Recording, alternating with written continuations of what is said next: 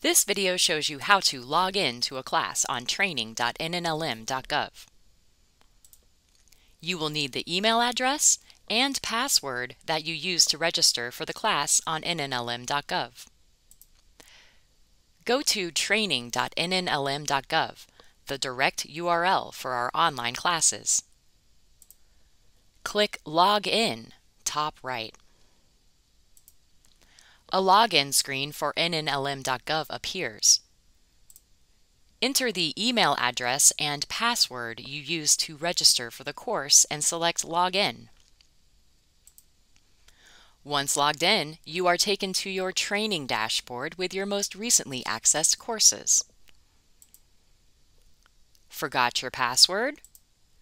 You can reset your password on the login page you will need the email address that you used to register.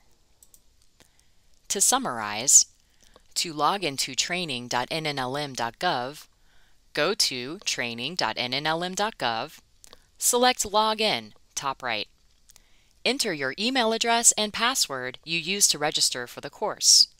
Select the green Login button, and your user dashboard appears.